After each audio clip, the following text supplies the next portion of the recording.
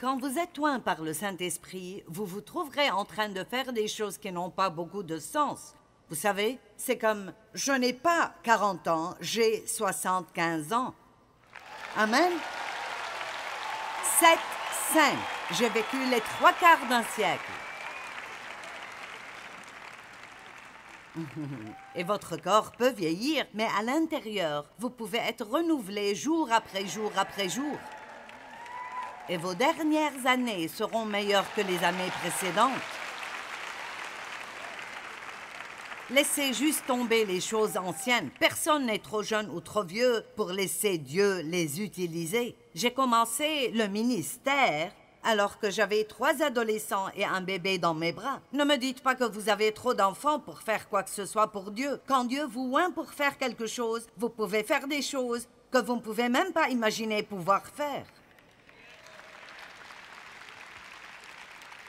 Donc voilà.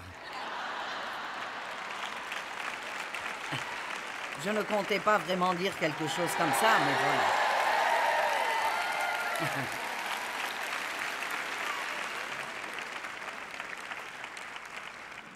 Nous avons besoin que l'onction de Dieu vienne sur nous aujourd'hui. Amen.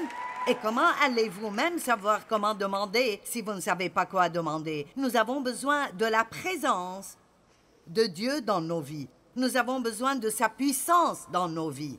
Je suis si fatiguée des chrétiens tristes, misérables, euh, des chrétiens râlants, des chrétiens grognons et qui se plaignent. Amen.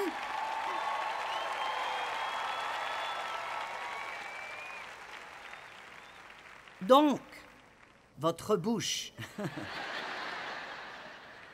Quand l'Esprit Saint est venu le jour de la Pentecôte, l'une des premières choses qu'il a faites était de toucher leur bouche, et donc nous devons faire attention à cela.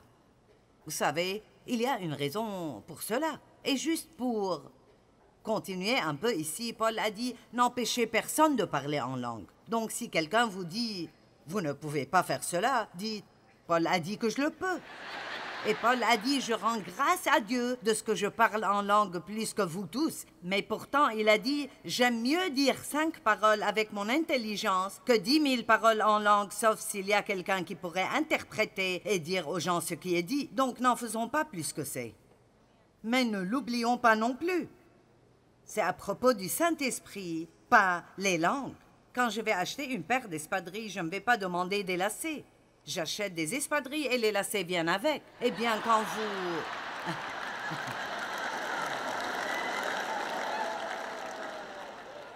Oh mon Dieu, je me cause tant de problèmes ici.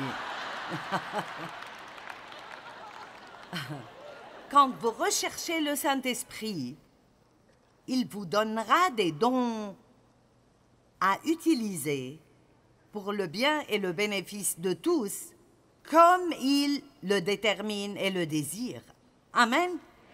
Et donc, vous n'avez vraiment pas à faire des dons plus qu'ils ne sont vraiment. Recherchez le Saint-Esprit, recherchez Dieu, et vous marcherez dans ce pouvoir surnaturel et disposerez de tout ce dont vous avez besoin pour faire tout ce que Dieu vous demande de faire. Amen. Très bien. Alors, Laissez-moi dire ceci. Si vous êtes assis là et que vous vous dites J'aurais aimé savoir de quoi tu parles, mais je n'ai aucune idée. Je me sens aussi perdu que possible. J'ai un livre.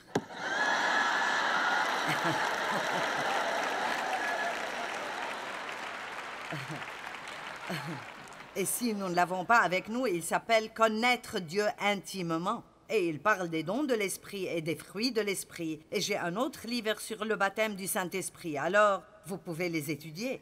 Étudiez, étudiez, étudiez. Si vous voulez savoir quelque chose, n'attendez pas que quelqu'un vous l'explique. Ayez faim de Dieu et creusez jusqu'à le connaître.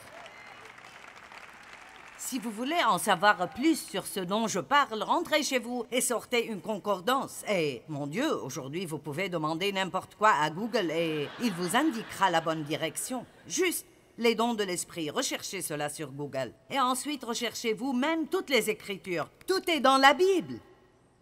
Vous n'avez pas à vivre sans puissance. Vous n'avez pas à vivre sans puissance.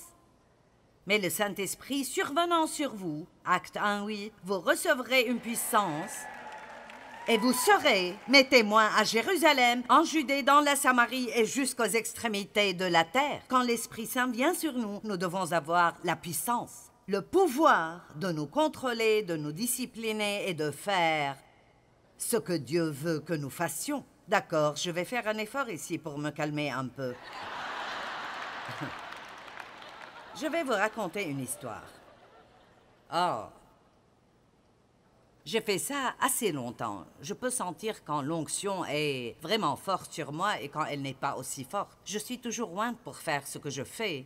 Mais il y a des moments où l'onction est si forte, où la présence de Dieu est si forte, que je me sens comme si je volais ici. Je veux dire, c'est comme... Je veux dire, je n'ai aucune idée de ce que la prochaine chose qui sortira de ma bouche sera, mais ça n'arrête pas de sortir. Et cela semble aider les gens, alors c'est comme ça que nous procédons. Et donc, si je manque ça, parce que je ne suis pas une bonne oratrice publique qui a suivi beaucoup de cours d'oraison, j'avais une grande bouche et Dieu a décidé de l'utiliser. Amen. J'ai toujours été une assez bonne communicatrice. Je peux faire passer mon message. Et c'est ce qui importe. C'est probablement le seul don vraiment fort que j'ai. J'ai beaucoup de bon sens.